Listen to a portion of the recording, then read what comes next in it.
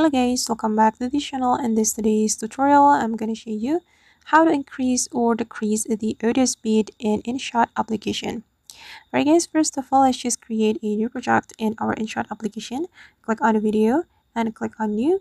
And here you can import blank clip.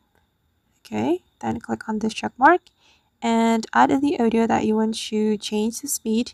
You can click on music and click on music again and add your audio to your InShot project. For instance, I'm going to add um, audio from my device. So I'm to go with this one, for example. Okay, then we're going to um, extend the blank clip. Wait, I'm going to make it align with the audio. Oops. Okay, then we're to save this video or this clip with the audio. Just click on save and wait until the video has been saved to your device. Okay and after the video has been saved we can go back and create a new project create new project again and import the blank clip with the audio that we have just created.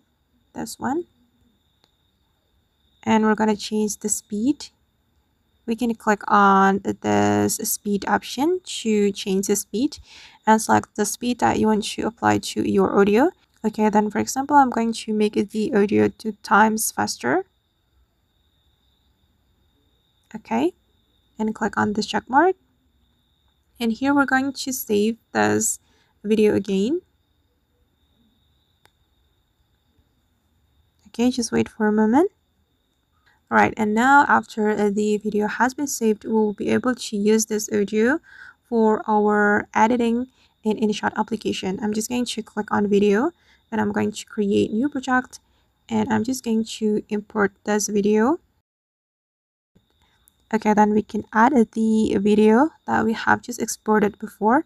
We can click on music, click on music again, and we can extract the audio from the video we have just exported click on extract audio from video and this is the video then we can click on this check mark okay and now the extracted audio has been added to my InShot project and that's how we can increase or decrease the audio speed in InShot. I hope this tutorial will be useful for you.